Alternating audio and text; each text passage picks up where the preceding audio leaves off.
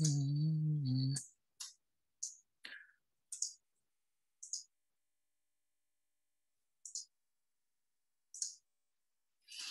Bueno, vamos a comenzar un temita que está muy de moda. Por supuesto, vamos a hablar, eh, hoy sí, vamos a hablar de bastantes términos muy informáticos y, bueno, la verdad es que ustedes son todos bien jóvenes, así que seguro que muchos de ellos no, no les resultan nada desconocidos, pero otros sí. Entonces, lo, lo dicho, ¿verdad? Si ustedes tienen alguna duda o algo de lo que yo explique no les queda suficientemente claro, con muchísimo gusto, ahí abren el micrófono y pregunten, ¿de acuerdo? lo que vamos a, conversar y exponer un poquito eh, es algo que realmente es delicado y es eh, cómo realmente se implementa, se pone ya en práctica un sistema informático eh, para servicios de salud o para cualquier cuestión de salud pública. no solo se trata de comprar equipo informático, ¿verdad? al final de cuentas ese equipo lo tienes que poner en algún lugar y las personas que van a utilizar esos sistemas, pues también van a estar en algún lugar y tienen que poder acceder a esas herramientas informáticas de alguna manera. Entonces eso eh, no es algo fácil de resolver, sobre todo cuando hay muchas limitaciones económicas. ¿okay? Estuviéramos hablando de que estamos en Suecia y pues, ellos tienen dinero para hacer lo que quieran y es más una cuestión de logística que de dinero. Pero en realidad en nuestras circunstancias hay que tomar decisiones que siempre son muy complicadas, que requieren eh, mucha prudencia eh, y sobre todo visión a largo plazo, ¿ok? Porque en, muchas ocasiones el dinero que se tiene, sobre todo en el ámbito de la salud pública, en instituciones como el ministerio, por ejemplo, o el seguro, eh, ese dinero suele provenir de financiamiento efímero. Eh, cuando se trata ya de decir, no, pero esto va a generar un gasto corriente, tenemos que cubrirlo, eh, ahí empiezan los, dolores. Y los compromisos que no se cumplen. Eso me tocó vivirlo a mí de manera bastante dramática. Y al final de cuentas te limita muchísimo en cualquier intención, por buena que sea, a la hora de desplegar un sistema informático eh, para nuestros fines de la salud, ¿verdad? Ok, la primera pregunta, las dos primeras preguntas que hay que hacernos. ¿Dónde está el sistema? Yo llego al hospital, me enciendo la computadora y ahí está el SIS. Qué chido, ¿verdad? ¿Y dónde está el sistema? ¿Dónde funciona? Porque yo lo que abro es un navegador Internet. El mismo navegador con el que yo veo mi correo electrónico. El mismo navegador con el que yo veo cualquier periódico. Pero ahí está el sistema. ¿Realmente está en mi computadora? No, ¿verdad? Obviamente el sistema está en algún lugar eh, de la red del hospital, está en algún lugar del, Ministerio de Salud, está en algún lugar de Internet. ¿Qué implicaciones tiene que el sistema esté en cualquiera de esos sitios? También hay sistemas, antiguamente así se hacían, que estaban en la computadora de uno. El sistema estaba ahí y todos los datos que uno metía se guardaban en la computadora donde uno trabajaba y se encargaba el sistema de pasar los datos hacia un lugar, un repositorio, por si la computadora se, arruinaba. Y hablando de datos, ok, el sistema es la aplicación, ok, pero los datos que yo introduzco, los datos que yo meto, ¿se quedan guardados realmente ahí en mi computadora o se quedan guardados en, una página web en, en Internet? Eso es muy relevante, sobre todo cuando estamos hablando, por ejemplo, de expediente clínico, electrónico, obviamente. ¿Qué pasa si se arruina ese lugar donde están guardándose los datos? ¿Qué pasa si llega una autoridad judicial a decirme, repaga el expediente, te lo voy a secuestrar porque ha habido una denuncia de mala praxis? Y yo le digo, es que no está el servidor aquí. Es un sistema en la nube. ¿Y ahora? Son, son, cosas bastante delicadas y como les digo, a lo mejor en, una clínica privada y demás, pues eso no tiene mayor relevancia, pero cuando estamos hablando de sistemas de salud para instituciones públicas, definitivamente es todo un dilema.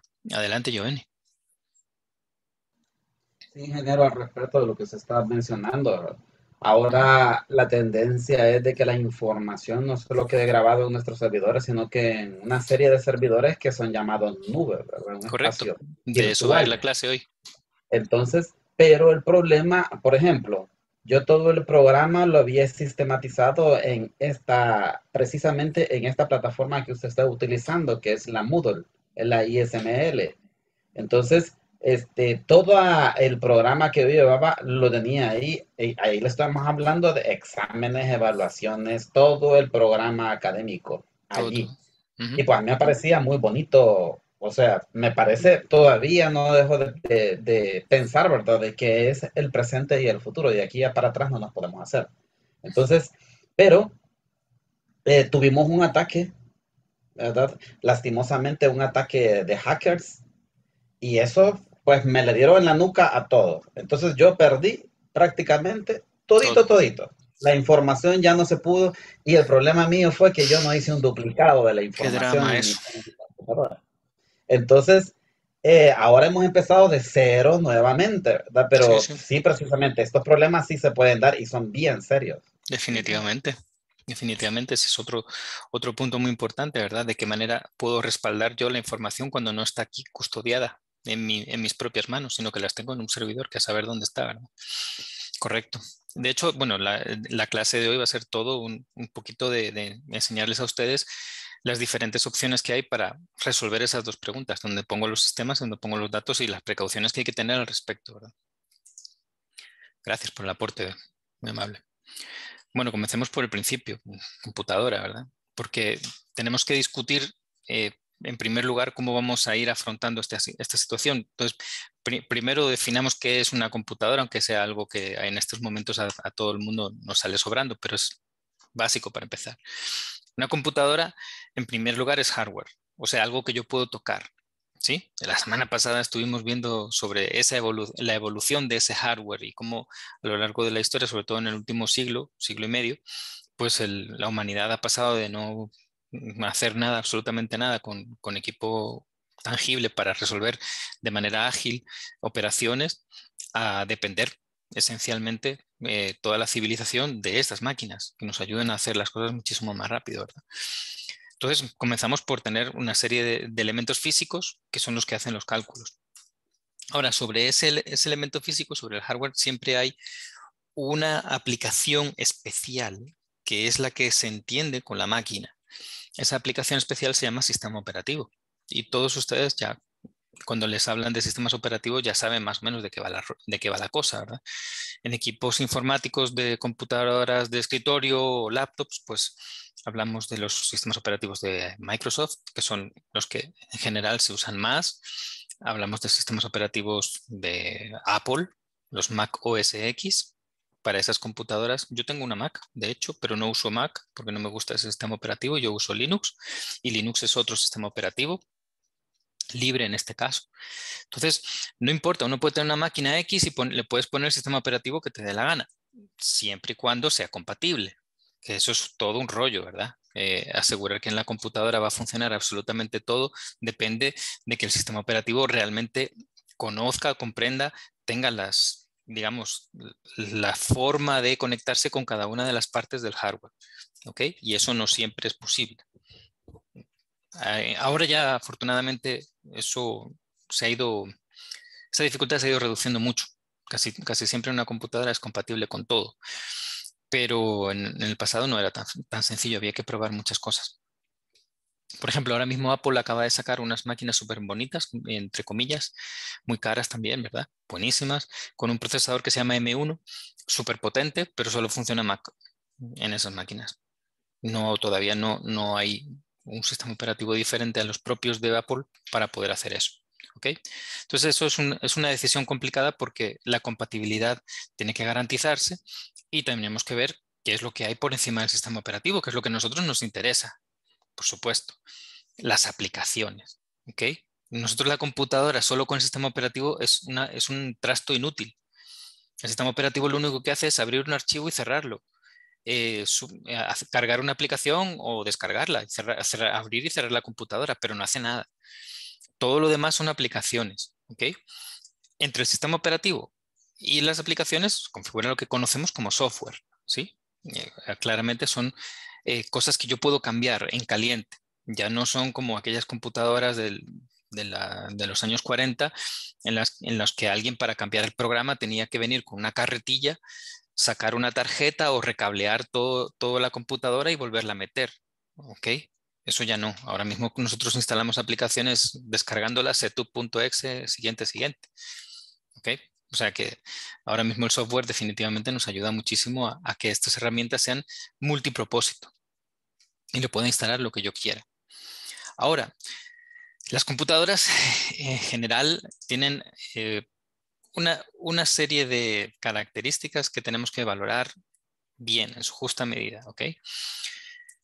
Y aquí hay un tema que a todos y todas nos cuesta mucho, que es la sensatez a la hora de adquirir este tipo de equipamiento. Eh, estamos bombardeados o bombardeadas por eh, publicidad que nos ofrecen las últimas maravillas de la tecnología, ¿verdad? Y nos impulsan, ¿verdad? Nos dan, es, casi compulsivo el, necesitar tener el último smartphone que acaba de sacar la marca, ¿verdad? Eh, cuando en realidad uno se pone a pensar y dice, bueno, pero de este equipo informático, por un smartphone, al final de cuentas es una computadora chiquitilla, pero es una computadora. En el caso de smartphone, los sistemas operativos son otros, iOS, Android, ¿ok? Ya lo vimos. Eh, pero necesitamos el último grito de la tecnología. ¿Cuánto de eso estoy usando realmente?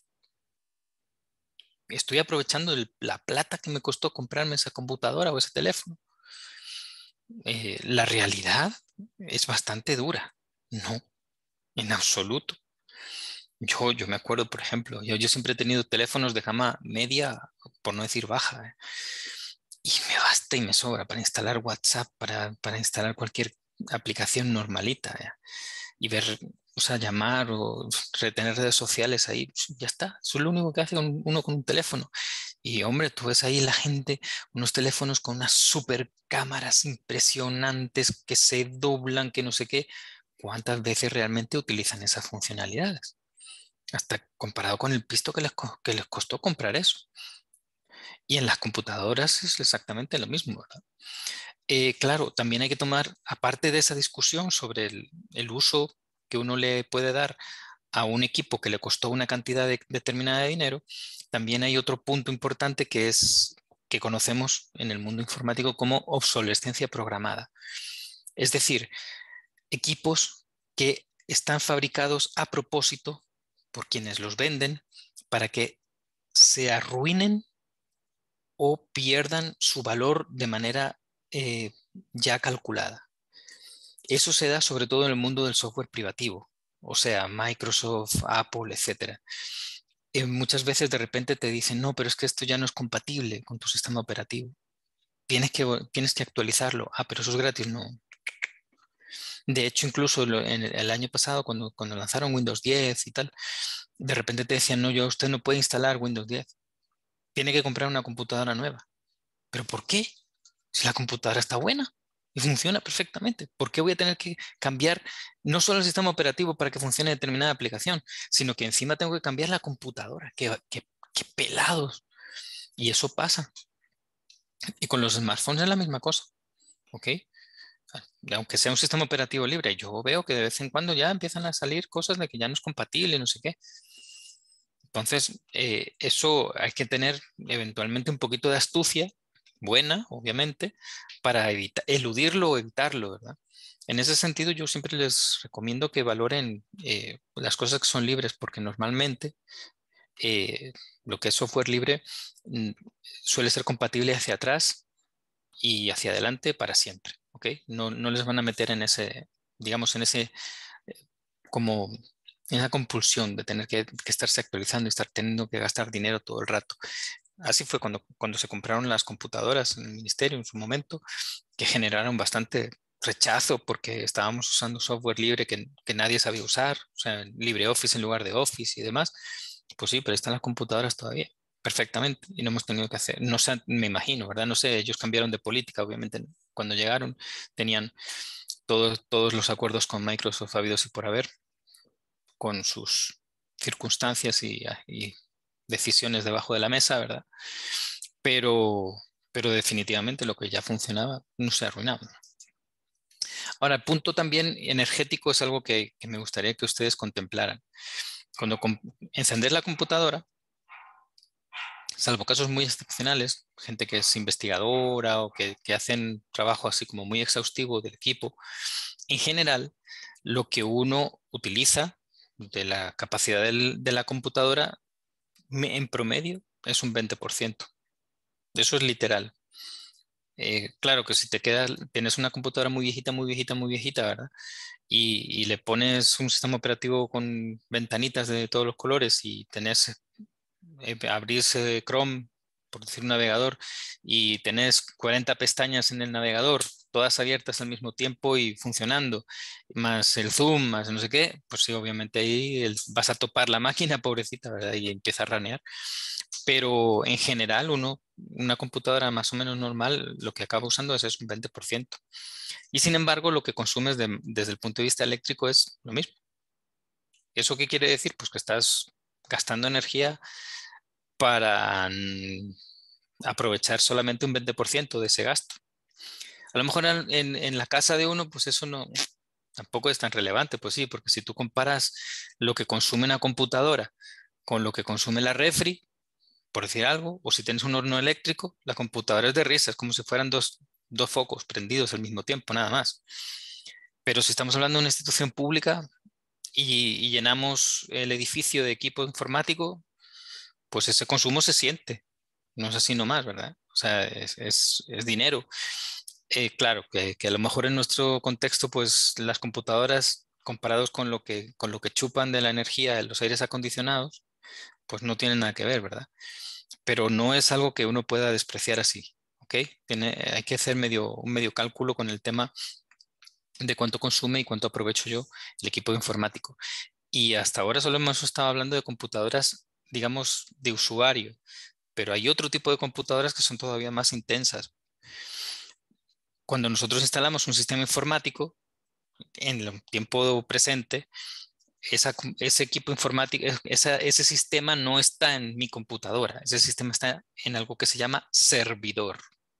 Ustedes lo han escuchado hablar un montón. Es que está en el servidor, no sé qué, y casi siempre escuchan hablar cuando hay problemas con el servidor. Porque, porque le ha pasado algo, porque se ha apagado, porque la red se fue, no sé qué, y el servidor no sé cuántos. Ok, pues los servidores son eh, computadoras muy buenas en el sentido de que tienen muchas capacidades, ¿verdad? Tienen mucha memoria RAM, mucha CPU, mucho disco duro para almacenar y están ahí para servir ese sistema, ¿verdad? Para, eso se llaman servidores cuando son muchas personas, muchos usuarios simultáneos los que tienen que utilizar ese sistema. ¿Ok? Cuando tiene, tenemos que darle concurrencia, así se llama en informática.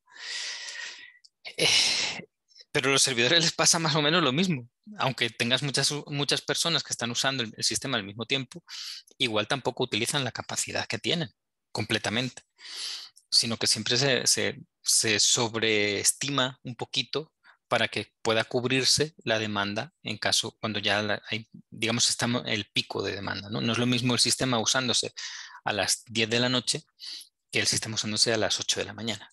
¿ok? Imagínense un expediente clínico electrónico en esas circunstancias. Nada que ver. Entonces el servidor tiene que aguantar la carga del pico de demanda, no la carga del valle de la demanda. ¿Entienden? Pero si tú promedias ese, ese uso durante todo el día, pues está usándose un 20%. Listo, eso es. Y la energía a tope, ¿verdad? Ahora, eh, ¿qué podemos hacer para optimizar eso? Porque un poco lo primero que hay que contemplar para hablar de, de dónde tenemos que llegar, que es la nube, ¿verdad? Es intentar optimizar eso, intentar maximizar la cantidad de, uso que le doy a un servidor o a los sistemas informáticos versus lo que me cuestan esos sistemas y la energía eléctrica es un costo importante en ello. Entonces, ¿qué pasa? La primera, la primera opción que uno puede valorar es, pues en el mismo servidor, en vez de tener solamente una, aplicación, puedo instalar varias y ya, entonces eh, multiplico la capacidad eh, útil de ese servidor. Y eso se dice fácil, pero tecnológicamente no es nada fácil, porque para que tú puedas instalar en el mismo servidor diferentes sistemas, tiene que haber algo que se llama compatibilidad. Y los sistemas necesitan muchas cosas para poder funcionar. Normalmente un servidor de aplicaciones, que es el que le manda al navegador, generalmente al navegador, la aplicación para que tú la puedas ver. ¿Ok? Para que puedas usarla. Eso, eso, lo hace un software especial que se llama servidor de aplicaciones. Si es una página web, es un servidor web. Sí, pero hay otros muchos tipos, ¿ok? Generalmente todas las aplicaciones necesitan una base de datos. Hay muchos tipos de base de datos, pero siempre hay una base de datos que almacena la información, almacena los datos más que la información. Vaya, pues si vas a tener varios sistemas, todos tendrían que poder usar la misma base de datos. Ah, ¿puedes tener varios sistemas de base de datos en el mismo servidor? Sí, se puede pero empiezas a, abusar de la capacidad del servidor cuando tienes que instalar herramientas tan pesaditas como los, sistemas de base de datos en el mismo server, ¿verdad? Y luego también hay muchos sistemas que dependen de algunas cosas que se llaman librerías, ¿ok? Y de repente te das cuenta de que el sistema A necesita la librería versión 3.0.8 y el otro necesita la 4.0. no sé qué, pero si dices, ah, pues entonces le pongo la más nueva, Sí, pero si pones la más nueva ya va a dejar de funcionar el que necesitaba la librería vieja y viceversa. Eso pasa, pero un montón de veces. Así que eso de que yo voy a poder saturar o, sobrecargar, entre comillas, ¿verdad? un servidor con muchos sistemas no siempre es viable. Em, otra cosa que tienen los servidores es que siempre están listos para el trabajo. Entonces ahí no es como una computadora de personal o una laptop, ¿verdad? O el teléfono, Teléfono, ¿qué es lo que más gasta, gasta de batería? ¿Ustedes qué creen que es, es lo que más le gasta la batería al teléfono celular? ¿Qué opinan? Las aplicaciones. No. Otra. otra. ¿Mm? Los datos, los datos, buscar buscar señal. Eh, en algunas ocasiones, sobre todo cuando la señal es baja, efectivamente la antena se pone y se le pone el teléfono caliente, culule, que no, casi no lo puedes agarrar porque, porque está calentísimo. Y uno dice, ¿pero por qué se puso caliente? Porque la señal bajó y le metió a la antena. Pero eso solo cuando, cuando la cobertura es baja. Eh, por ahí, Mar, creo que también levantó la mano. Sí, sí, justamente eso iba a decir, la señal, buscar señal o incluso los datos, datos móviles también. ¿Quién más? ¿Alguna otra propuesta de otra, otra cosa del teléfono celular que, gasta mucha energía? Adelante, Giovanni. Considero que el procesamiento de los datos también gasta mucha energía, ¿verdad? El uso de del, sistema operativo del celular, pero también la generación de, de, luz, o sea, ¿cómo sería? Eh, la, la, pantalla. Exacto, exacto. Ahí, ahí. Por eso el teléfono tiene, una, tiene un modo de que lo primero que apaga es la pantalla. La pantalla, que es fundamental porque el teléfono sin pantalla no sirve para nada, es probablemente el de los periféricos del propio teléfono, que está todo integradito, lo que más energía gasta generar todos esos fotones de luz a través de esa matriz LED es gastón, aunque son LEDs y, el gasto en LEDs es mínimo de energía, pero es de lo que más gasta. Por eso tiene siempre un modo de ahorro de energía y lo primero que hace es apagar la pantalla. Y las aplicaciones no se, no se apagan. Las aplicaciones en general se quedan en segundo plano. Ahí, si, si te están llegando mensajes de WhatsApp, están cayendo eh, y, y ahí están la pantalla no se enciende, bueno, si lo que tengas activado y que te ponga un mensaje, ¿verdad? Pero normalmente ahí está el teléfono, pi, pi, pi, pi, pi, pi, pi, pantalla apagada y todo funcionando. O sea que si se apaga la pantalla es porque realmente para ahorrar energía eso es crítico, ¿ok? Igual uno siempre le pone que no esté a tope de intensidad la luz, ¿verdad? Salvo que estés ahí en, en plena calle. Porque cuanto más intensidad le pones a la pantalla, más energía chupa. ¿Ok? Bueno, pues los servidores no tienen ese chance. Los servidores están full desde que lo enciendes. Y, es así, es necesario, porque los sistemas nunca se sabe cuándo van a necesitarse que, funcionen. Si tú tienes que esperar mucho tiempo para, que, digamos, el servidor empiece a trabajar a pleno rendimiento, eh, el sistema te va a parecer lentísimo. Entonces gastan mucha energía, mucha, mucha energía. Em, y bueno, eh, hay un problema cuando uno hace ese truco de meter muchos sistemas en el mismo servidor es que estás poniendo todos los huevos en la misma canasta, dicho de manera folclórica. Si, si se te arruina el servidor, si se te le pasa cualquier cosa a ese servidor, chao todos los sistemas. A los informáticos e informáticas, este tipo de, problemática nos eh, aflige mucho y procuramos evitarlo, porque no es lo mismo apagar un fuego que apagar 10.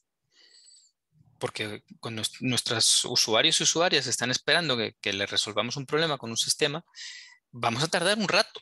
No es así nomás. Eh, claro, muchas veces dicen, ah, pues reinicia el servidor y ya está. Pues sí, a veces eso se arregla así de fácil, ¿verdad? Botonazo y chao. Pero eso normalmente no es así. Uno tiene que averiguar qué le pasó al sistema para que no vuelva a suceder. Mientras eso pasa, es mejor que tú tengas que atender o que investigar una, una sola problemática a tener varias afectadas. Entonces, eso está complicado. Eh, al final de cuentas, e, es una especie de balance. Idealmente, desde el punto de vista de la robustez de mis servicios, ¿verdad? Yo lo que necesitaría es tener un servidor dedicado a cada sistema para evitar cualquier tipo de que el problema en uno no le afecte a los demás. Pero eso qué significa? Que si yo tengo 10 sistemas, necesito 10 servidores, 10 por el consumo eléctrico de esos servidores. Entonces uno tiene que, ponerse a, cabalear, ¿verdad? A ver qué, es lo que más me conviene. Entonces, eh, ¿qué, soluciones hay? Porque definitivamente uno no, puede estar eh, dependiendo de, las posibilidades económicas de comprar un montón de servidores. Además, el espacio físico que, ocupan es importante y todo eso. Bueno, pues la primera solución es la virtualización. ¿Habían escuchado hablar de la virtualización anteriormente? ¿Sí? ¿No? Para nada. Sí, por ahí, por ahí veo que alguien dijo que sí. Vaya. Para los que no.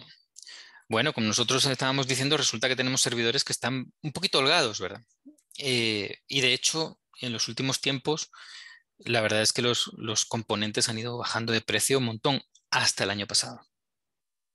Del año pasado a este, con el tema de la pandemia, la crisis de los, de los contenedores y ahora con la guerra de Ucrania, esos componentes electrónicos se están convirtiendo en un elemento crítico, crítico para toda la civilización humana. Así se lo digo. Hasta el año pasado, hasta el 2020, 2020, 2021, era casi como más RAM, pues más RAM. Necesito otro procesador, otro procesador, para lo que cuesta. ¿A quién le importa? Ahorita, ahorita conseguir, conseguir eh, este tipo de dispositivos está convirtiéndose en todo, todo un desafío. Hoy empieza, empezamos a, medir con muchísimo más, eh, mm, con, más cariño, más atención, cuántos recursos informáticos realmente necesito para proveer un servicio en particular. Más aún, es necesaria la optimización de esos recursos que yo tengo. Entonces, supongamos que tenemos un servidor muy grande. Con muchos recursos, pero necesitamos intentar evitar ese efecto de propagación si uno de los sistemas tiene un problema. Entonces, lo que yo puedo hacer es simular dentro de ese servidor físico grande que tengo servidores pequeñitos, pero que no son reales. Digamos que son eh, como simulacros de los servidores, de cómo funciona un servidor real, pero que funcionan como una aplicación. ¿Ok? El nombre de ese, funcionamiento, el nombre formal es hipervisor, que es la herramienta informática que está sobre el sistema operativo del servidor, que me, permite a mí instalar otros sistemas operativos en la misma computadora. ¿Sí? Ahora vamos a ver un dibujito para que les quede más claro. El punto es que yo con un mismo servidor físico pueda repartir en diferentes servidores virtuales, ¿verdad? Todos los recursos de la computadora. Es decir, yo tengo, yo tengo un servidor o una computadora de escritorio con ocho núcleos. Ustedes han escuchado hablar de eso, ¿verdad? Ah, el procesador tiene cuatro cores o ocho cores o no sé qué. Igual los teléfonos celulares también tienen cores. Prácticamente cada core puede funcionar de manera aislada a los demás. Y yo puedo decir, bueno, pues voy a dedicar dos cores o dos núcleos a este sistema, dos núcleos a este otro sistema. ¿Ok? Bueno, pues el con el hipervisor puedo hacer eso y dedicar para, para un servidor virtual tantos núcleos, tanta RAM, tanto disco duro. ¿ok?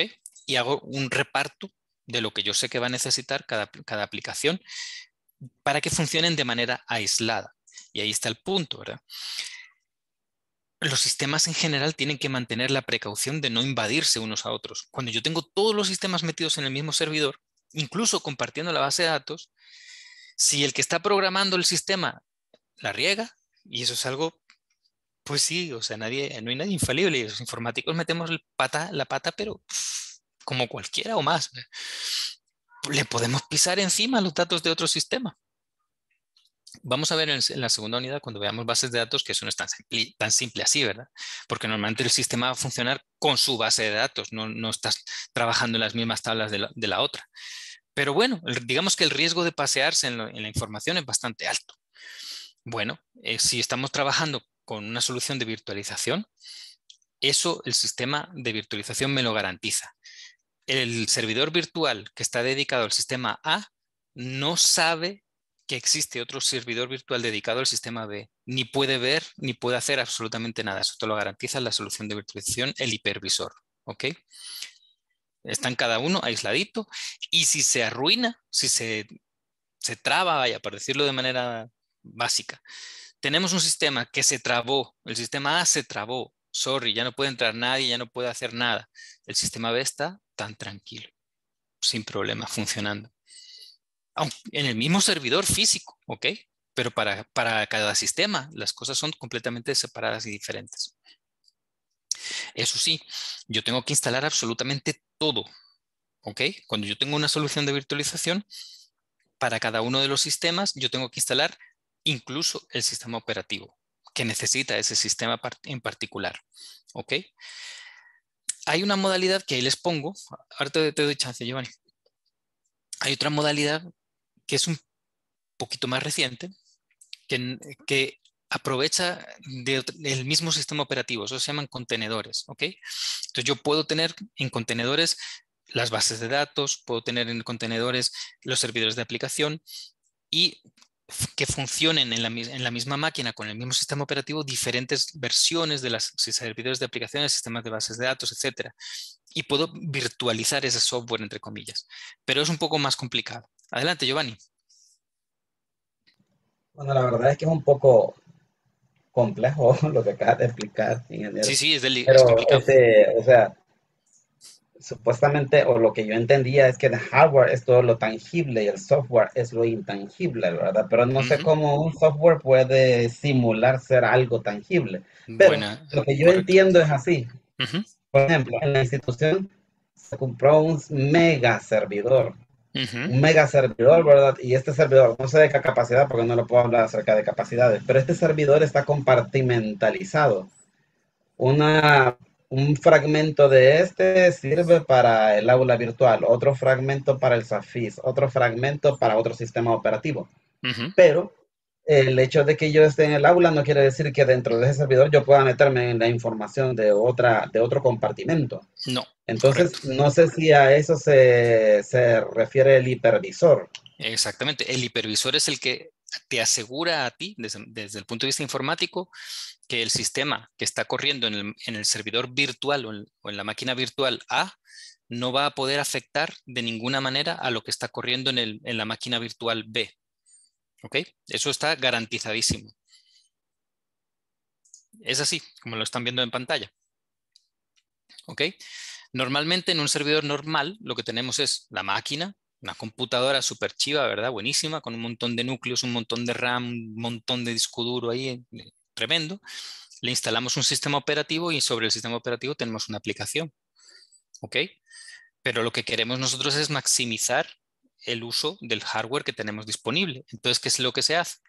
Se le pone el hipervisor, que es esa capa que se pone aquí, capa de virtualización, y sobre esa capa de virtualización hacemos como servidores chiquitos. Y cada uno de esos servidores chiquitos pues tiene un sistema operativo y unas aplicaciones. ¿Ok?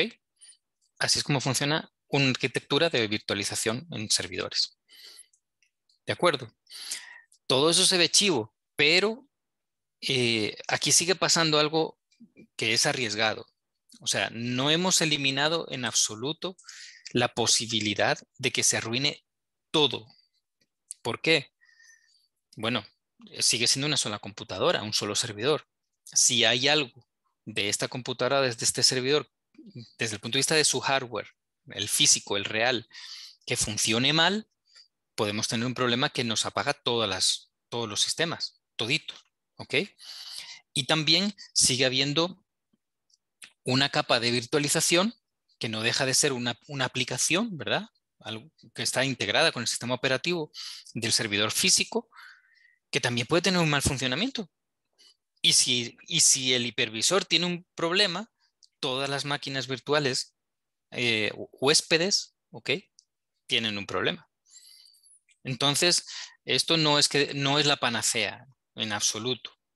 Es, es, bastante bueno y bastante estable. Por ejemplo, en el Ministerio de Salud, todo funciona virtualizado. Todo. ¿Ok? No hay servidores físicos exclusivamente dedicados a un sistema en particular.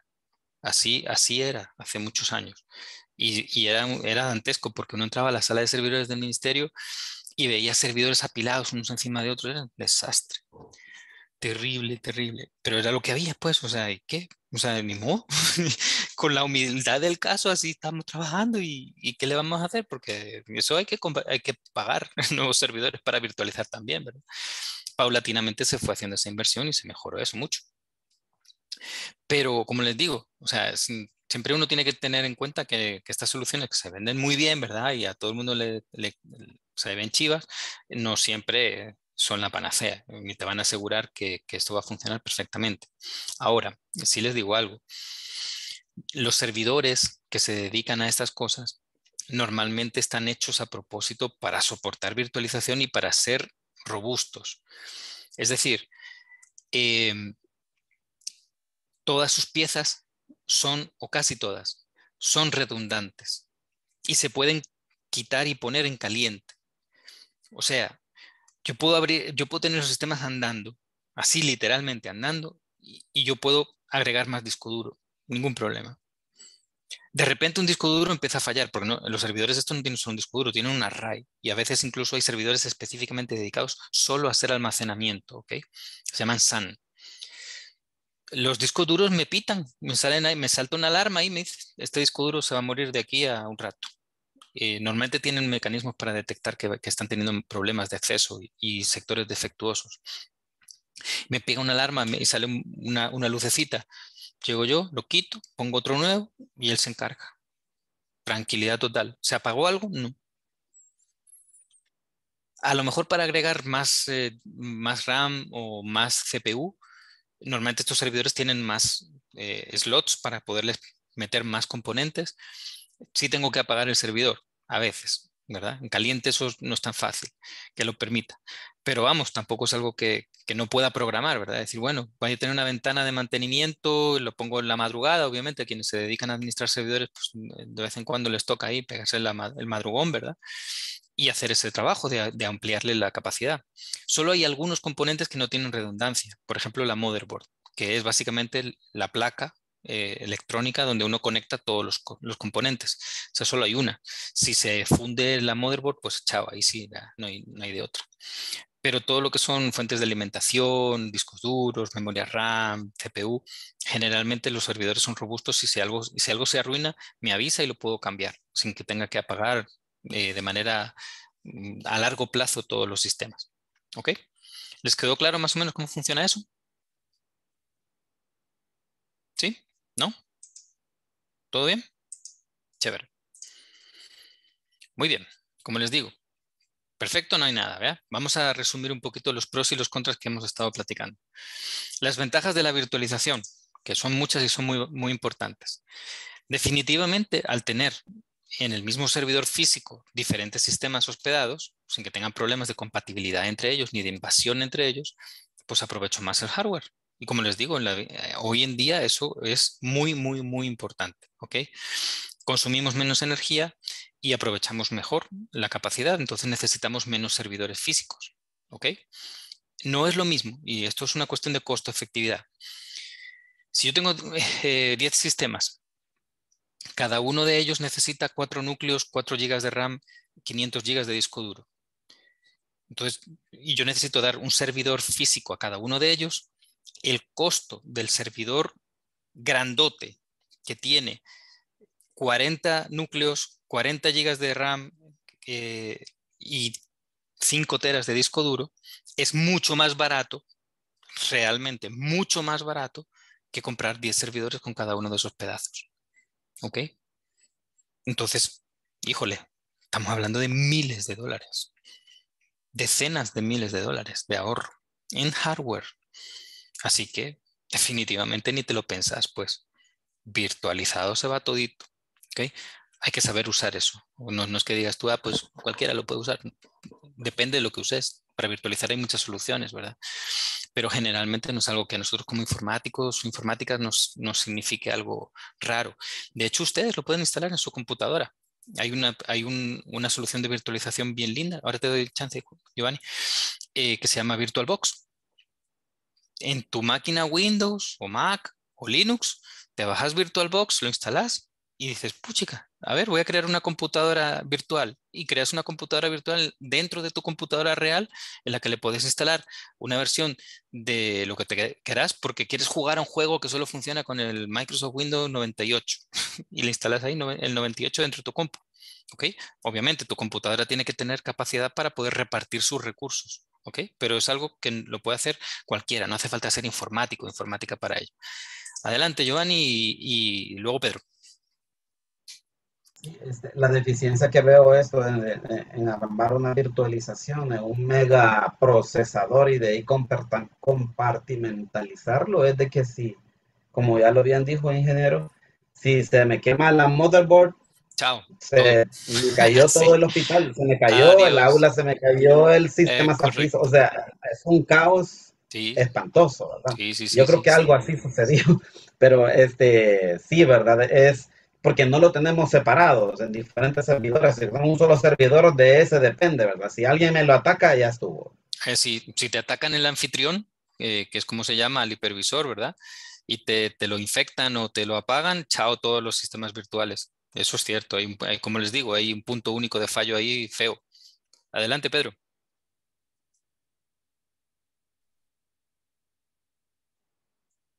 No te escuchamos. No sé, el audio. Ustedes lo escuchan. O sea, quitaste el, el, mute, pero no se te escuchó. No, no, no se escucha. Que después preguntas, vale, chévere. Va a arreglar ahí el... Hay que llamar a informática ahí. ok, sigamos. Eh, una de las cosas que tiene buena es la virtualización también, es que uno puede hacer cosas eh, interesantes, por ejemplo, para balancear la carga. Eh, podemos, como podemos tener muchos servidores virtuales en este caso, yo puedo decir, ah, pues mira, para un mismo sistema le voy a poner varios servidores, porque si se arruina uno, entonces puede el otro cubrir esa demanda, ¿verdad? O entre los dos, repartirse a todos los usuarios que están conectados para que no se sienta el sistema súper lento, sino que se reparte la carga. Entonces, eso, eso es bastante bueno eh, en, en, términos de la replicación de toda la información. Cuesta, por supuesto, un tiempo de cómputo tener replicados todos los datos en diferentes servidores, pero me garantiza a mí que ante, ante el fallo de uno no, los sistemas no se caen. Entonces, con virtualización eso es muchísimo más fácil porque copiar un servidor virtual es algo que se realiza de manera muy rápida. ¿sí? Yo digo, esta máquina virtual es un archivo, al final de cuentas es casi como un archivo. Para, para el sistema operativo en general es un archivo. La copio, la pego y ya, de hecho, en muchas ocasiones nosotros en informática lo que hacemos es la máquina virtual para hacer la tarea de no sé qué y, nos la compartimos. Y ya en esa máquina virtual ya está todo instalado, todito. Y solamente se trata de hacer la tarea. ¿Ok? Entonces en eso es, bastante útil. También hay una ventaja de, compatibilidad, ¿verdad? Eh, cuando yo monto un sistema operativo y una aplicación, lo hago virtual, eh, si yo tengo diferentes servidores, media vez tengan el mismo hipervisor, yo puedo instalarlo en cualquier servidor de la marca que sea, aunque tengan otro sistema operativo diferente. Al final de cuentas, la aplicación va a funcionar con su propio sistema operativo hecho a medida. Sistema operativo, sistema gestor de base de datos, librerías, todo a su medida me lo quiero llevar a otro servidor que funciona, un servidor que lo tenía, un servidor HP con Unix y otro tengo un, Dell con Linux y ahora tengo uno Windows con no sé qué, no importa. Son compatibles, a priori son compatibles. Eso es una cosa bastante buena. Pero vamos a hablar de los inconvenientes, lo resumimos, ¿verdad? Lo que mencionaba aquí Giovanni. Eh, si falla el anfitrión, chao pescado, te vas con todo. Puede ser la máquina hardware que tenga algún problema o el hipervisor que tenga un problema. Todas las máquinas virtuales se fríen, ¿ok? Así que mm, es de tener cierto cuidado y elegir, por supuesto, software de virtualización robusto. Ese VirtualBox que yo les he contado ahorita está muy bien para jugar. Eh, jugar entre comillas, o sea, a nivel de usuario normal. Pero yo no pondría un VirtualBox para utilizar sistemas informáticos de producción. No es suficientemente fiable o robusto. Hay otras soluciones igualmente gratuitas y libres que sirven para eso.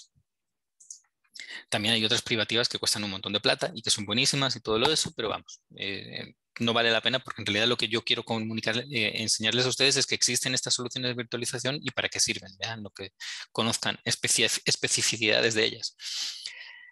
Eh, otro punto que, que hay que considerar es que el hipervisor no es mágico, pues, o sea, vamos a necesitar dedicarle una cantidad de recursos, una cantidad de memoria RAM, una cantidad de CPU, una cantidad de disco duro para que él funcione. Entonces, eso hay que tomarlo en cuenta. ¿Cuánto consume? Eh, realmente es casi despreciable, mm, pero, pero consume algo, ¿ok? O sea, un par de núcleos le voy a tener que dedicar al hipervisor. Algo, 100 gigas de disco duro le voy a tener que dedicar al, al hipervisor. Dos o tres gigas de RAM se los tengo que dedicar al hipervisor. Entonces, si estoy haciendo cálculos, paloteando cuánta RAM tengo y resulta que le tengo que dar un poquito al hipervisor, a lo mejor eso es importante. También, eh, aunque yo les digo que, que, instalar VirtualBox es algo que hace cualquiera, ¿cierto? Te metes en la página de VirtualBox, lo descargas y lo instalas y ya está jugando con él. Eh, ya para hacerlo ya en serio, se necesita gente campeona. Las personas, eso nos enseña en la carrera, cuando uno estudia informática no, no tienes una asignatura de virtualización. Tienes asignaturas genéricas de sistemas operativos y que te hablan de esto con, pelos y señales. Pero no, esa especialidad para manejar ese tipo de herramientas en realidad se gana o en la práctica, teniendo experiencia profesional paulatinamente, o porque haces algún tipo de cursos de certificación y demás. Y eso cuesta un montón de plata. ¿okay? Conseguir personas que dominen este mundillo de la virtualización no es fácil. No es fácil en absoluto. Y menos en un entorno como El Salvador, donde en realidad eh, estamos hablando de personas que tienen la posibilidad de trabajar donde les dé la real gana, para quien les dé la real gana, cobrando lo que les dé la real gana. Entonces, para, yo, siempre me pongo en el papel de las instituciones públicas, porque así me tocó a mí trabajar. Conseguir personas con esta capacidad, con este talento y con ese, con ese conocimiento para trabajar en una institución pública, o sea, es casi como dificilísimo, pues, porque llegarles al salario que ellos pueden cobrar en una empresa privada es bien complicado. Les tienes que dar un entorno como súper guau, ¿verdad? Vas a trabajar para algo que vocacionalmente te llama la atención, en un equipazo de personas, y lo que, nos, eh, lo que pasa muchas veces eh, es que, a mí me, pasó y creo que en este momento está pasando también, que a nivel de la institución no, no se puede eh, alcanzar no solo el salario, que es un elemento importante como cualquiera, ¿verdad? Sino el, el, ambiente, el ambiente adecuado para que estas personas puedan sentirse cómodas y hacer su trabajo y que, y que, y que te acepten ser contratadas, ¿verdad? Eh, la semana pasada renunció el administrador de servidores principal del Ministerio de Salud por el contexto. ¿sí? Eh, eso es un drama. Yo no sé cómo lo van a resolver porque no hay una persona igual que él. Me parece brutal cómo ha podido llegar a esa situación, ¿verdad? No, lo entiendo, porque, como les digo, eh, contratar a ese tipo de personas es algo complicado, pero así son las cosas. Entonces, si te pones a sofisticar mucho tus sistemas informáticos y, los, y, necesitas basarlos en estas soluciones, tienes que preocuparte mucho, mucho por quienes los administran, por quienes los desarrollan. Es bien, bien relevante. Hay un tema también eh, que ya afortunadamente casi no, no sucede y es que los servidores virtuales son generales, son genéricos. Entonces, si tú tienes un sistema eh, que tiene que estar conectado, por ejemplo, imaginemos un sistema de laboratorio. Eh, los laboratorios eh, de análisis de, cualquier tipo de prueba, ¿verdad? están conectados por cables especializados a los equipos que hacen el procesamiento de las pruebas. Pero ¿Y cómo vas a conectar eso con un servidor virtual que está trabajando ahí como en algo raro. No, normalmente eso necesita que funcione a través de una tarjeta específica, que no sé qué. A veces eso no es posible. A veces necesitas dedicarle un servidor real dedicado a ese sistema. Y luego del servidor real ya comunicas con los otros sistemas de alguna manera. Pero con la virtualización eventualmente te puedes encontrar eso, ¿verdad? Que algunas herramientas que necesitan estar conectadas físicamente a otros tipos de dispositivos no se pueden. ¿Ok? Ese es, digamos, el último inconveniente que te puedes encontrar con la virtualización. Bueno, el último no. el, penúltimo. El último es que, eh, como les digo, quienes administran eso pues son gente muy talentosa, eh, no siempre fácil, pero eh, tiene un problema desde el punto de vista de la responsabilidad a la hora de asumir una infraestructura tan compleja, tan buena, pero tan compleja como es. Es mucha responsabilidad. Y como les digo, cuando algo falla puede ser catastrófico. Entonces la tendencia, la tendencia es evitar esa responsabilidad o lo que normalmente es pasarle la papa caliente a otro. Mejor mm, quitémonos este problema de esta dificultad que eventualmente vamos a tener virtualizando y teniendo un data center con los servidores en ese data center. Y como el data center está en el medio de San Salvador y se puede caer el edificio del MinSal en cualquier momento porque está amenazado de derrumbe desde el terremoto del 86, eso es real, real. La sala de servidor principal del Ministerio de Salud está en un edificio que se puede caer en cualquier momento desde el 86. Entonces ahora tenemos que hacer una sala de servidores alterna para garantizar por cuestiones de auditoría y también por la realidad, ¿verdad? Que si se, de que si se cae ese edificio de repente pegamos ahí el petardazo con un, terremoto fuerte, no va a pasar nada y vamos a poder seguir manteniendo continuidad de todos los sistemas informáticos. Estamos hablando del expediente único de salud, un montón de cosas súper imprescindibles, misión crítica. Necesitamos eh, tener esa redundancia, ¿ok? Pero ¿cómo podemos hacer eso sin asumir una responsabilidad tan grande, verdad? Vaya, pues hay una solución que no es perfecta, pero hay una solución que ustedes deben conocer. Digo que no es perfecta primero porque no es gratis, ¿ok?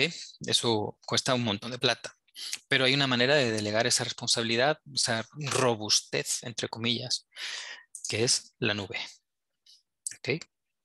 Todos y todas han escuchado hablar de la, nube en términos informáticos. ¿Quién sí, quién no? Pues, la mayor parte del celular tiene una nube y también Internet, hay cosas que lo mandan a la nube también. Sí, en realidad ahorita estamos en la nube. Y como estamos hablando, pues, por Zoom. ¿Dónde está Zoom? A saber. En, instalado en, Estados Unidos, o saber. Pero aquí estamos, aquí trabajando. Todos estamos conectados en la nube. De Internet, por supuesto, ¿verdad? Entonces, ¿yo puedo transferir mis sistemas informáticos a esa nube? Sí puedo. Claro que puedo. Ahora, eso es de gratis nada, obviamente, ¿verdad? Esa nube en realidad consiste en aprovechar esos conceptos de virtualizar, ¿ok? De tener mi sistema operativo, mi, gestor de base de datos, mi, servidor de aplicaciones y mi aplicación en un servidor virtual. Bueno, pues yo agarro ese servidor virtual y lo subo a Internet. En algún lugar va a funcionar y ya. ¿Ok? Eso es la nube. Claro, hay muchas formas de usar la nube y ahora vamos a ver los tres tipos de uso de la nube que, podemos hacer. Y vamos a discutir un poquito sobre sus pros y sus contras. Pero leamos la, definición así canónica, ¿verdad? como, ¿Qué es la nube? Es un modelo tecnológico que permite el acceso ubicuo. No importa dónde estés vos, media vez tengas internet, puedes entrar. ¿ok? Que esté adaptado, o sea, que sea flexible para lo que yo quiero, ¿verdad? Y que pueda actuar bajo demanda, o sea, que en función de la, demanda que tenga, en función de la cantidad de personas que quieran entrar al sistema, pues eventualmente puede adaptarse, ¿verdad? A los recursos de computación, que por supuesto son configurables. Yo hablo con el, a, quien le estoy contratando la nube y digo, pa, quiero tantos núcleos, quiero tanta RAM, quiero tanto disco duro, y te dice, sí, está bien, pum, pum, pum, pum, toma, ahí tienes ya un servidor con eso que tú me has pedido. Físicamente, ¿dónde está? Eh, no sé, pero me lo está dando y yo puedo instalarle el sistema operativo, puedo hacer lo que yo quiera con eso. ¿Ok? Que pueden ser rápidamente provisionados y liberados con un esfuerzo de gestión mínimo. Es así de sencillo, realmente. Uno entra a un, servidor, eh, a, un, sistema de, de servidores en la nube y en unos dos, tres clics tú dices el tipo de servidor que quieres usar, entre comillas, ¿verdad? El tipo, porque es una simulación de ese tipo, con tantos núcleos, con tanta RAM, con tanto disco duro, a trabajar. Así de fácil. Bueno, poniendo la tarjeta de crédito por delante, por supuesto, pero así de sencillo, ¿verdad?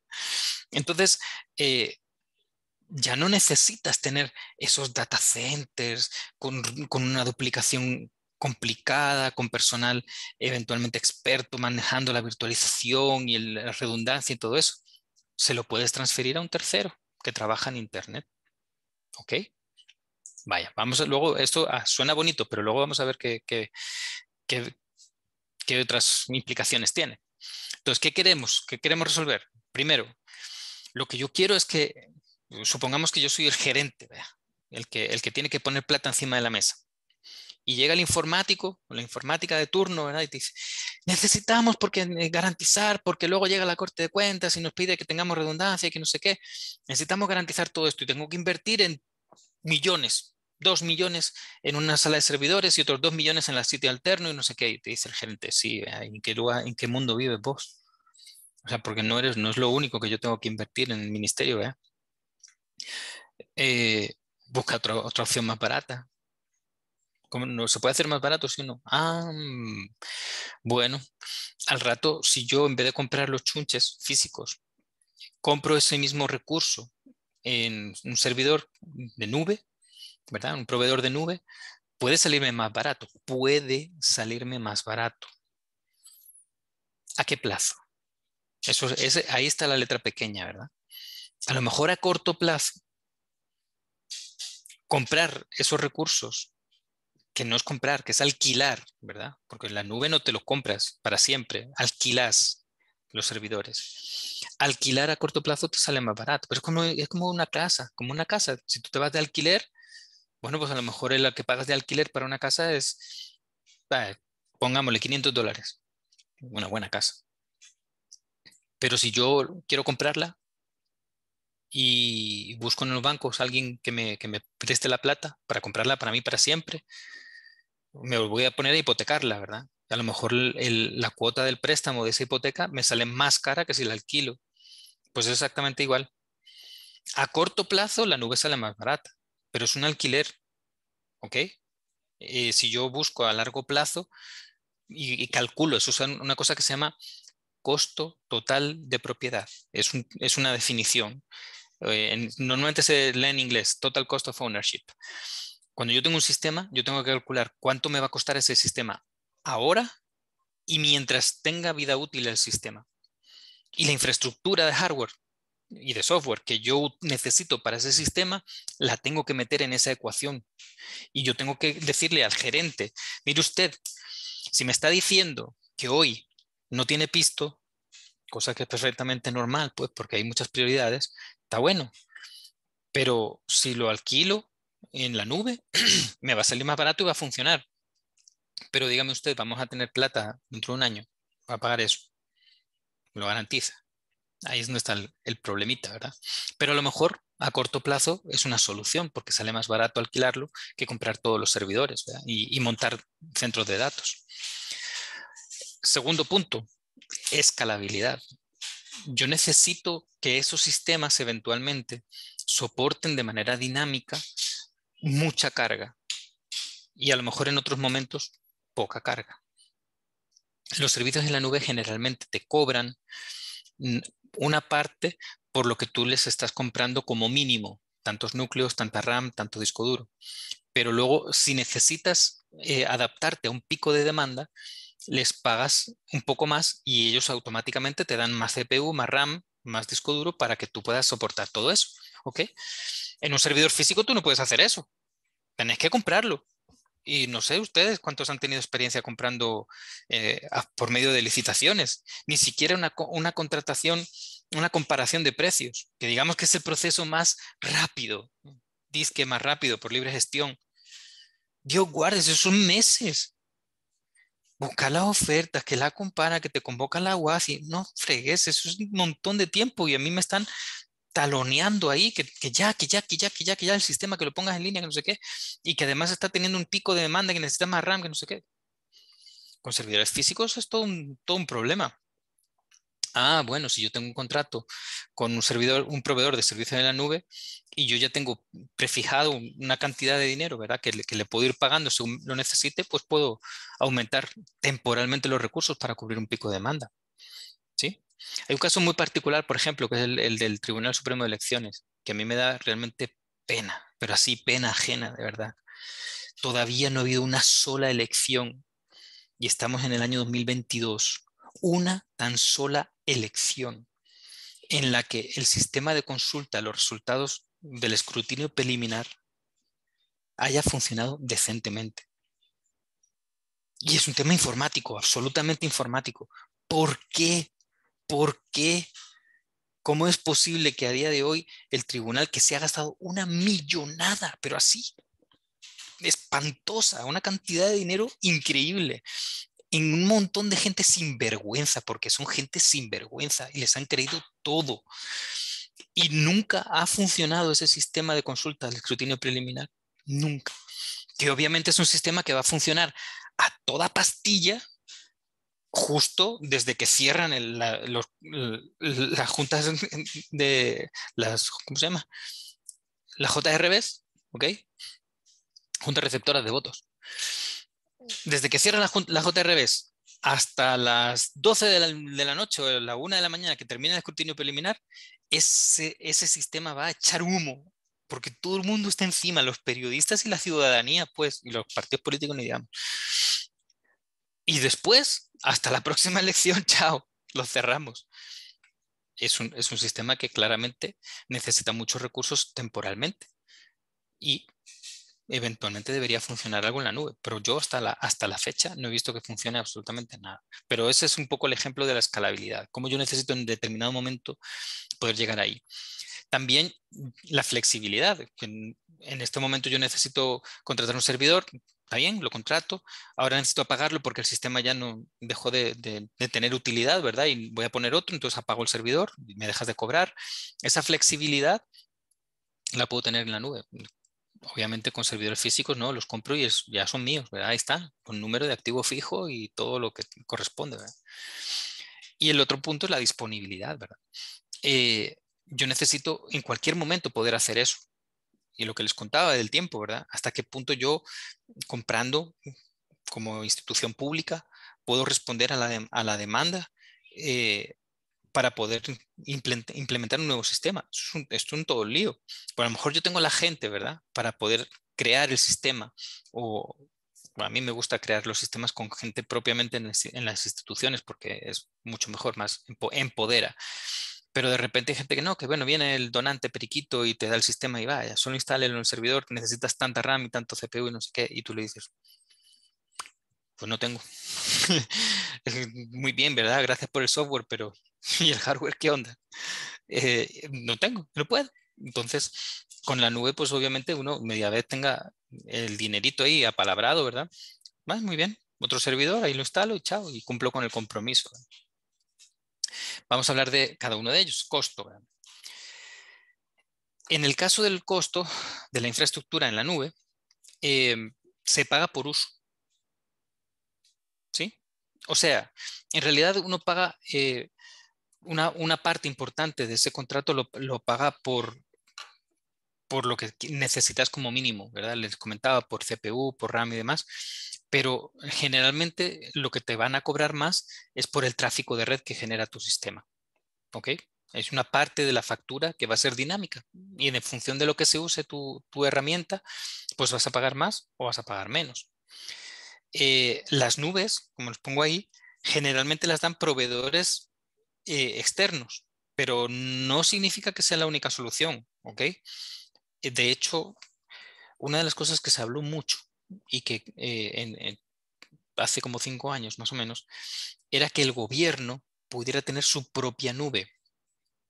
O sea, tener toda la infraestructura de hardware y de data centers y demás, para poderle ofrecer a las instituciones públicas los servicios en la nube que necesitaran. O sea, que el propio gobierno fuera un proveedor de nube. Y eso estaba chidísima. La idea era buena, buena, buena. Ahora, ¿cuánto cuesta eso? Nada, eso de dos centavos, nada, ¿verdad? Montón de plata. Entonces, se quedó en idea. Ah, no sé hasta qué punto la gestión actual ha conseguido ya montar los data centers y todo eso, pero mm, mm, creo que desde el punto de vista práctico todavía les falta un poquillo, hasta donde yo sé. Eh, ¿Qué es lo que tienes que hacer? Bueno, pues entonces tienes que basarte, si quieres irte a trabajar a la nube con algún sistema, tienes que contratar los servicios de un tercero, que no es el propio gobierno, sino que son empresas privadas, ¿verdad? Em, como les decía, bueno, pues a lo mejor puede salir más barato el costo utilizar servidores en la nube a corto plazo, ¿verdad?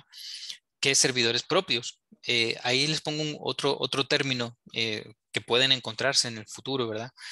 Eh, on-premise. Cuando te dicen que el sistema se puede instalar en la nube, en cloud, o on-premise, significa que tú lo puedes instalar en tus propios servidores, en tus propias máquinas, ¿ok? y es un término muy común, por eso se lo, se lo pongo por ahí. Entonces, hay que valorar, puede salir, puede salir más barato a corto plazo usar servidores en la nube, pero a largo plazo, ¿en qué momento? Y eso es, un cálculo que hay que hacer, como les decía, con las funciones de costo total de propiedad.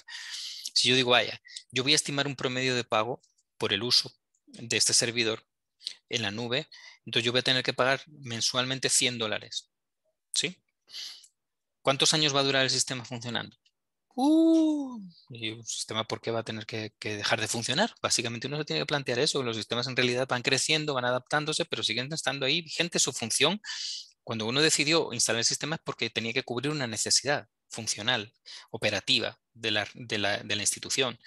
Esa, e, esa, necesidad no va a desaparecer de la noche a la mañana, va a durar forever. De hecho, esas necesidades normalmente ya estaban previamente. Lo único que nadie había tenido la oportunidad de desarrollar un sistema para apoyar eh, la resolución de esa necesidad. Entonces dices, bueno, pues entonces va a durar toda la vida. Chévere. Pero como empezamos ahora, 1 de enero del 2022, y esto de aquí a Eternum, ¿verdad? Bueno, pues eh, yo voy a acabar pagando 100, 110, no sé qué.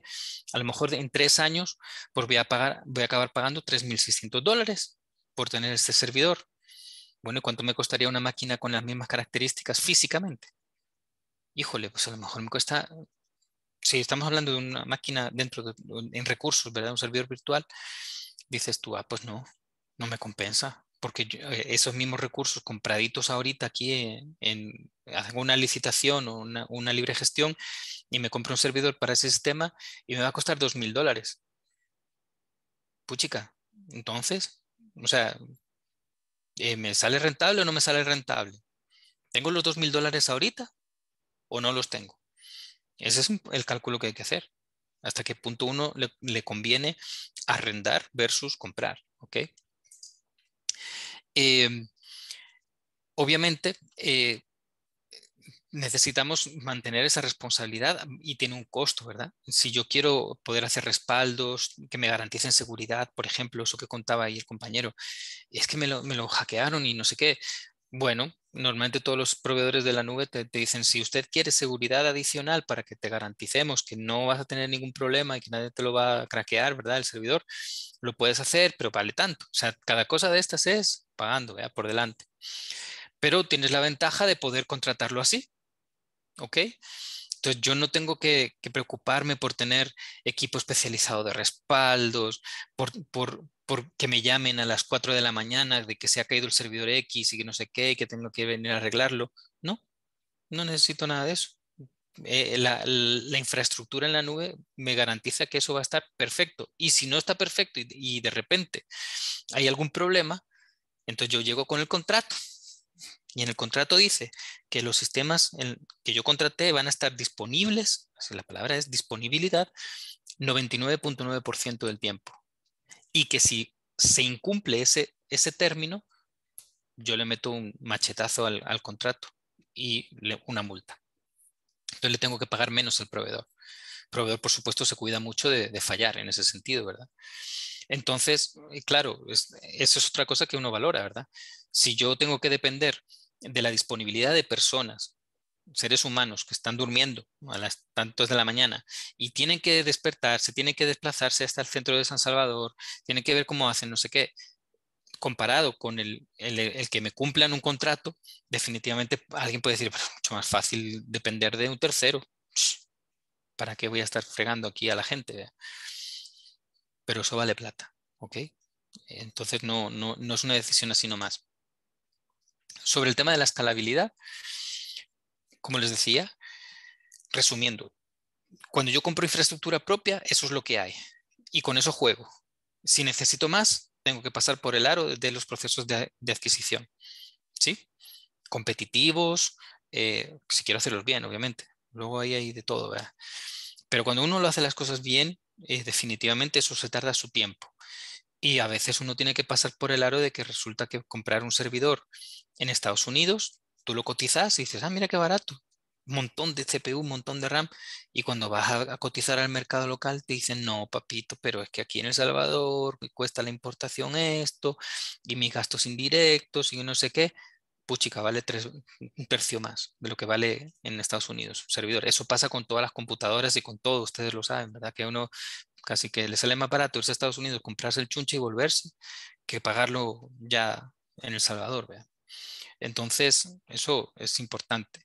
Pero el, punto es que cuando tienes sistemas informáticos, tú tienes que ver a largo plazo qué vas a necesitar, no solo hoy, sino cómo esos sistemas eventualmente van a ir creciendo de manera natural en funcionalidades, en necesidad de almacenamiento, etcétera, y yo tengo que comprar holgadamente esa infraestructura.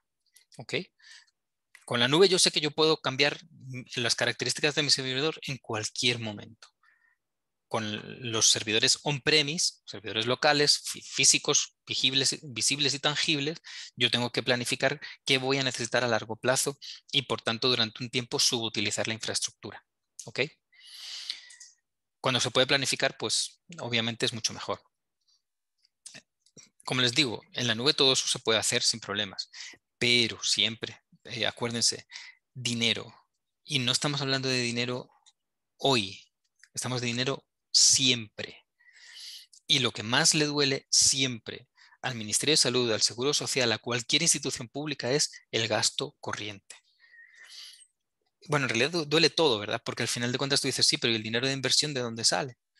Entonces ahí te das cuenta de que en realidad todo ese dinero no es que venga del presupuesto, de los fondos generales del Estado, sino que son préstamos. O sea, préstamos que vamos a tener que pagar con todo intereses, pues. a veces eh, la ecuación es mucho más complicada, ¿verdad? Porque en realidad no tienes dinero para, para absolutamente nada, ni hoy, ni mañana, ni nada, sino que estás completamente funcionando sobre un artificio económico, ¿verdad? A base de préstamos y de gasto corriente que se financia con préstamos también. Y, bueno, tienes que resolver esa necesidad informática con ese panorama, ¿verdad? en la nube definitivamente no te van a hacer absolutamente nada si no pones el dinero encima de la mesa para empezar. Entonces tenés que encontrar a alguien, alguna empresa, en El Salvador generalmente, eh, que, te ofrezca ese servicio a quien les pueda, que te pueda facturar en nombre de un proveedor de servicios en la nube, en nombre de Amazon, en nombre de Google, en nombre de no sé quién. Y eso también es un costito importante. Con respecto a la flexibilidad, eso estamos claros, lo hemos hablado anteriormente, pero hago una diapositiva para que quede bien, bien fijo, ¿verdad? Yo puedo adaptar lo, lo que necesito cuando tengo un pico de demanda, ¿ok? Eh, en la nube y con dinero, tranquilidad, cero, cero preocupaciones. Cuando yo no tengo algo así, sino que dependo de mis propios servidores, yo tengo que comprar por adelantado la cantidad necesaria de hardware, para poder cubrir ese pico de demanda. La tengo que poder calcular. ¿Ok? Entonces, no siempre eso es posible. Y por último, la disponibilidad. Yo tengo que garantizar que mi sistema funciona permanentemente. Pero en la nube tengo un problema. Internet. En otros países, el Internet es como casi pues, como que yo abro el chorro y sale agua. Igual en El Salvador, abro el chorro y sale agua, seguro. graciosillo, a, cualquier hora y de calidad.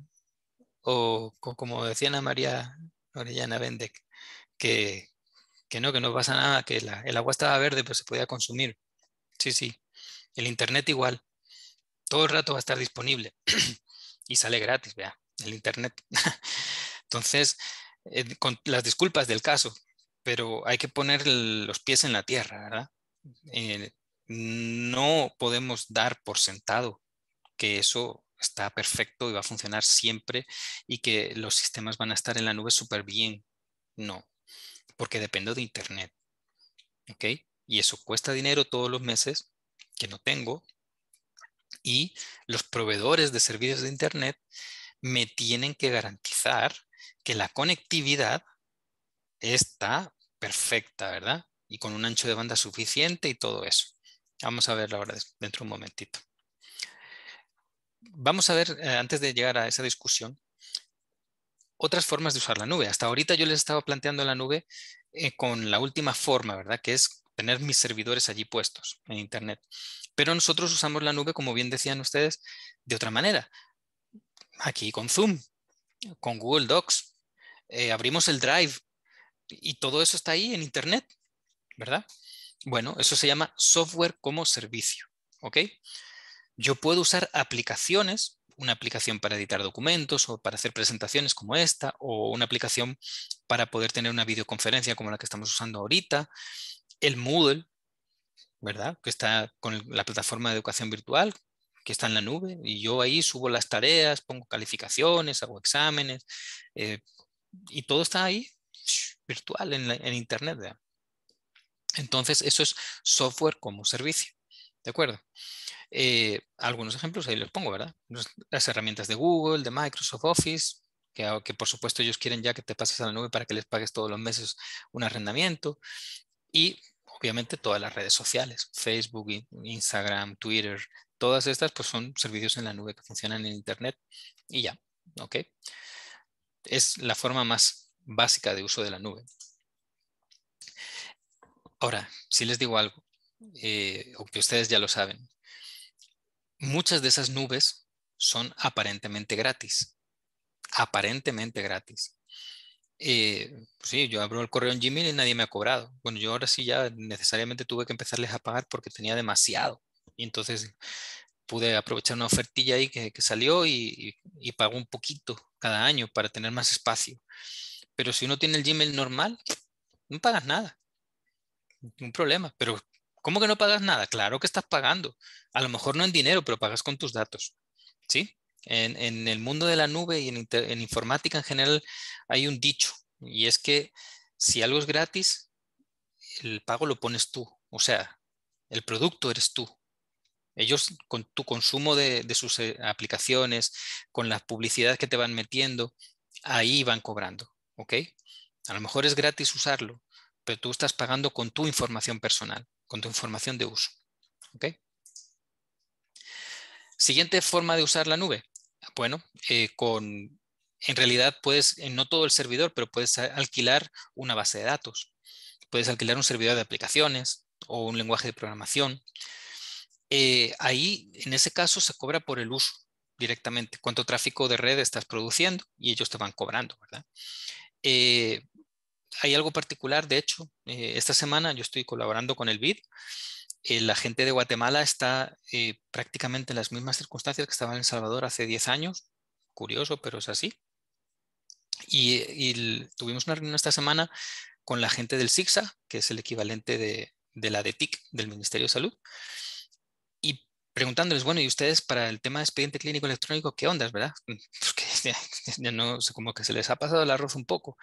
Y entonces van y nos enseñan que ya tenían una aplicación hecha en Oracle Apex que es un servidor de, plataforma de servicios en la nube, en el que uno en la nube va desarrollando la aplicación, precioso, muy bonito, todo eso. Ok, perfecto, está en la nube, no sé cuántos. Hay una serie de consideraciones que hay que tener, pero desde el punto de vista de la aplicación de expediente clínico electrónico, un poquito más básica que, la que, es que lo que es el SIS, pero ya con mucho de lo que tiene el SIS en la nube, en esa, en esa funcionalidad. Entonces, claro, la, defensa de, mis colegas guatemaltecos, ah, no, es que es súper flexible, yo puedo aumentar la demanda, que no sé qué, que no sé qué, no sé cuánto. lo primero que le pregunto el del BID es, ¿y con qué lo pagas? Eh, ¿Y vas a tener pisto el año que viene? Con las elecciones que vienen. ahí se puso un poco blanquillo ahí el compañero Chapín. Pero, pero bueno, que se puede hacer, se puede hacer sin ningún problema. Y lo que yo les, estaba, les he estado contando, como les he estado explicando cómo funciona la nube, que es infraestructura como servicio, o sea, propiamente todo el servidor. ¿ok? Y yo lo único que hago es instalar el sistema operativo, las aplicaciones y lo que necesite. Puedo crecer en recursos y te cobran una parte por esa cantidad de recursos mínima que te ofrecen, aunque puedo escalar, ¿ok? Puedo adaptarlos. Y ahí están los proveedores más importantes. Muy bien. Vamos a eh, resumir esos tres conceptos de la nube, porque no tenemos mucho tiempo, ¿verdad? Como si fueran pizzas, ¿ok? Para aclarar un poco el esquema. Si yo no uso la nube, sino que hago las pizzas en mi casa, yo necesito todo. Necesito el horno, necesito hacer la masa, necesito además comprar algo de beber porque la pizza no va, no va a pasar para adentro sola, ¿verdad? Y necesito hacerlo todito, todito, todito. Es mi responsabilidad. ¿Ok? Completa.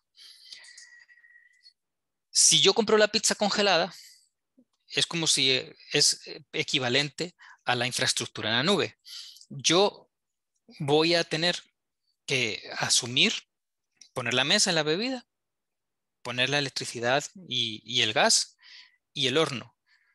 Pero el proveedor me va a dar ya, cuando yo voy a comprar la pizza congelada, ya está hecha.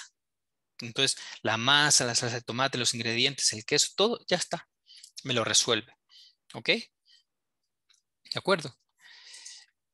Cuando yo utilizo plataformas como servicio, puedo todavía eh, hacer, llamar por teléfono a, a, cualquier restaurante de pizzas, ¿verdad? Llamo a la Pizza Hut y ellos hacen todo. Mi responsabilidad va a ser poner la mesa y tener bebida y comérmela. Pero todo lo demás lo hace el restaurante, ¿ok? Ya el, último caso es irme a comer la pizza al restaurante, ¿verdad? Eso es software como servicio. Entonces yo lo único que hago es disfrutar de la, aplicación, en este caso disfrutar de la pizza. ¿Ok? Entonces, básicamente así es como de alguna manera puede compararse el uso de servicios en la nube, en infraestructura, en plataforma o en servicios eh, con, una pizza, por si les quedó así como alguna inquietud. Eh, ¿Tienen alguna duda por, por, aquí? Aunque vamos a tener una discusión ahorita de algunas cosas. ¿Alguna dudilla que les pueda resolver en este momento? ¿Todo bien? ¿Sí?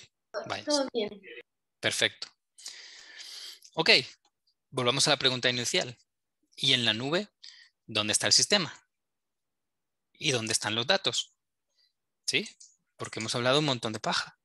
sí, literalmente. Pero ¿dónde está el sistema? ¿Es eso relevante? Pues sí lo es. Sí lo es. Primero por el tema de la dependencia de Internet. Yo les he dicho ahora hemos estado hablando mucho sobre los puntos únicos de fallo y que se me, se me arruina el servidor o el hipervisor. Sí, sí, y si se me cae el internet, ¿qué pasa? Eh, tengamos claro algo, por favor. Cuando estamos montando sistemas de información para salud pública, y sobre todo si son servicios de salud, son misión crítica. Deben funcionar permanentemente. No se vale decirle al paciente, Disculpe, no le puedo atender porque se cayó el sistema. ¿Qué le pasa? O sea, eso no es tolerable.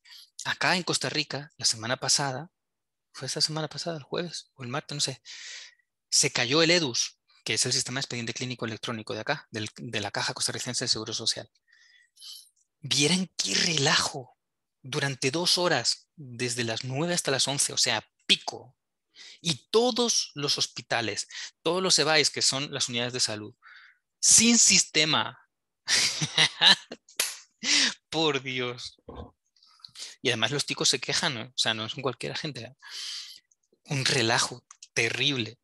Así que no podemos depender de algo que se puede caer y sobre todo no podemos hacerlo sin tener un plan B. Claro, ahí, te ves a la gente en los hospitales sacando las resmas de papel para apuntar a mano, la consulta y, la receta y todo, porque ellos ya están acostumbradísimos a trabajar con el EDUS. Igual que pasa con el SIS, vea. O sea, poco a poco eso se va convirtiendo en el estándar, vea. Yo trabajo con eso y no me vengas a decir que ahora tengo que hacer todo de nuevo a mano, no, no jodas.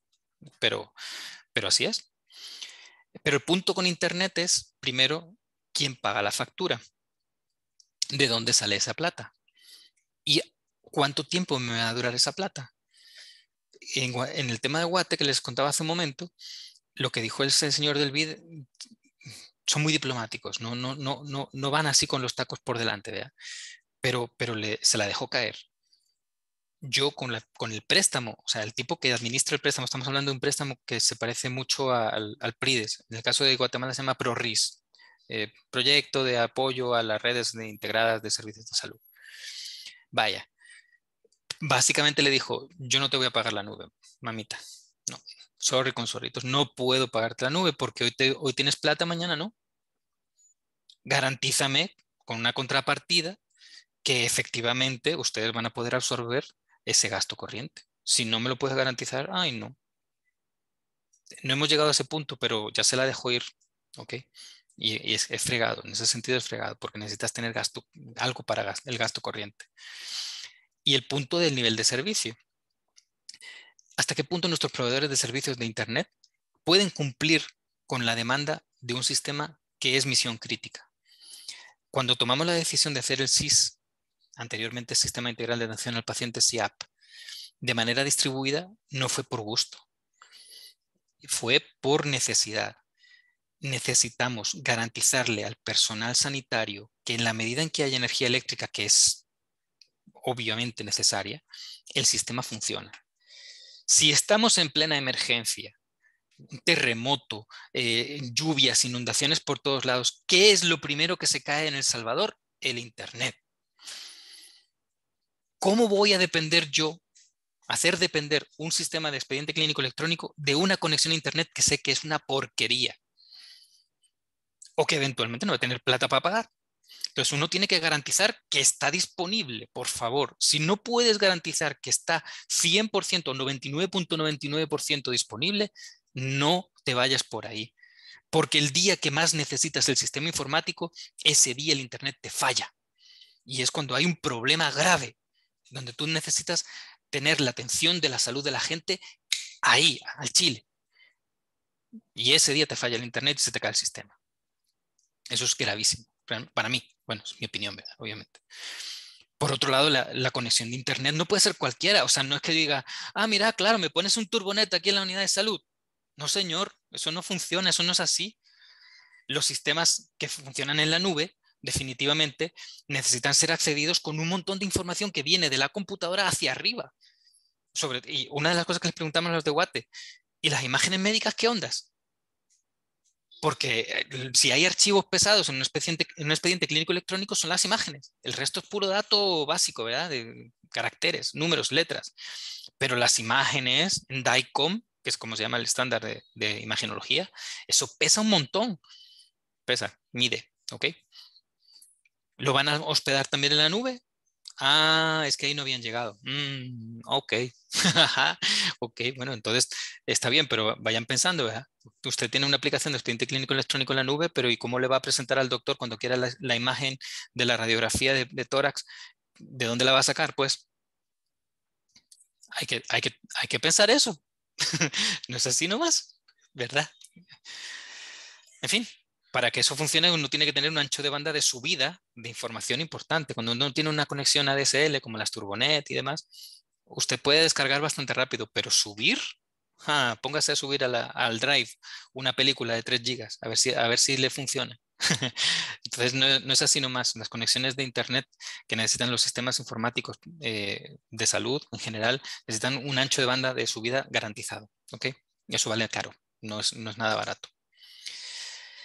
Y el último punto que discutimos, ¿dónde están los datos? Yo puedo tener la información del expediente clínico de una persona en algún lugar del mundo? ¿Así? Y eso se lo preguntamos a la gente del SIGSA, de Guate. En el caso del sector privado, ¿qué importa pues? O sea, no, van a tener muchos problemas. Eh, ellos pueden tener los datos donde les dé la real gana y no hay ningún problema. Entonces la nube, perfecto. Pero en, el sector público de salud, lo primero que uno tiene que cumplir es la normativa, la legalidad vigente. Realmente lo que ahora mismo existe desde el punto de vista legal me permite a mí eh, poner los datos de las personas, información confidencial, como lo define la ley de acceso a información pública, en Estados Unidos? ¿Qué pasa si de repente llega la fiscalía y me dice, no, no, no, traiga el servidor? Aquí ha habido algo gravísimo, un acceso eh, irrestricto a la información personal de la gente. Acaban de poner una denuncia. Eh, aquí va a caer todo el mundo por la ley de, de, delitos informáticos. Deme el servidor, me lo secuestro. Porque necesito validar los accesos que ha habido a ese servidor y garantizar que nadie más va a poder acceder a él. Así que lo secuestro físicamente. Disculpe, pero es que nosotros no tenemos un servidor físico aquí. Trabajamos en la nube. ¿What? Y entonces, ¿quién tomó esa decisión? ¿En base a qué ustedes creyeron que podían desubicar físicamente los datos de ese sistema y ponerlos en, Estados Unidos, en Texas, en California? A mí qué me importa, yo quiero ser servidor aquí ahorita, si no usted se va para la cárcel. Vieran que es complicadísimo. Y le preguntaron a la gente de Guate, ¿ustedes están seguros de que pueden hacer eso? Y dijeron, sí, bueno, el tema de las vacunas del COVID lo hemos puesto ahí y nadie ha dicho nada. Ah, pero es que una cosa es que nadie se haya quejado y nadie les haya puesto una demanda y otra cosa es que se pueda, que ustedes tengan el cuerpo legal suficiente como para poderlo hacer. ¿Ok? Entonces es un punto bien, bien relevante. Y otro tema es el, es el gasto corriente, que hemos hablado mucho durante todo este rato, ¿verdad? Entonces, si yo tengo que garantizar a, largo plazo que voy a tener eh, una dependencia de un proveedor de servicios en la nube, primero tengo que ver si eso es competitivo, porque también puede haber algún criterio de, no, no, no, Oracle Cloud, Oracle Apex, ¿quién lo provee? Ah, Oracle. ¿Y quién le da el servicio? Oracle. ¿Y cómo compite con otros? No se puede, es un proveedor único. No se puede, chao. Usted me tiene que comprar algo en el que pueda haber por lo menos tres ofertas. Ni modo, porque si lo dice la ley, la LACAP, entonces ahí empieza la gente a brincarse la LACAP y a buscar subterfugios para no cumplir el tema de competitividad. Y por supuesto a pagar sobreprecios por ser proveedores únicos y quedarte vinculado a ese proveedor. Es muy delicado. Cuando uno se dedica a hacer cosas en la nube, eh, tiene que tener ese cuidado de no quedarse vinculado a un proveedor en particular de, de, ese servicio. ¿verdad? Entonces la nube, en ese sentido, puede ser una soga al cuello. Entonces, yo se lo digo con mucha, con mucha calma, pero, pero también es bien importante, ¿verdad? Y con el tema de la ubicación de los datos, ahí les pongo en la presentación que en este momento no hay ni un solo, pueden hacer clic en cada uno de esos enlaces, ni un solo proveedor de servicios en la nube, de infraestructura o de plataforma, que te ofrezca la ubicación de los servidores en Centroamérica. Ninguno. ¿Por qué no tienen salas de servidores los, estos proveedores en Centroamérica? Porque no les importa. Básicamente porque no tienen negocio. Tienen en Europa, en Oriente Medio, donde, hay donde obligatoriamente les obligan a, que, tengan ahí los servidores. En, en, Estados Unidos, por supuestísimo, ¿verdad? Pero aquí en Centroamérica nada. Entonces, ya sabes que si vas a hacer algo en la nube, todos tus datos físicamente, esos datos que no son más que electrones dando vueltas en algún dispositivo, no van a estar en Centroamérica ni en tu país. Van a estar en Estados Unidos, van a estar en donde sea. Tú puedes elegir cuando contratas servicios en la nube, tú dices, quiero que mis servidores estén ubicados en tal sitio. Lo puedes elegir. No, es una decisión que, toma el proveedor.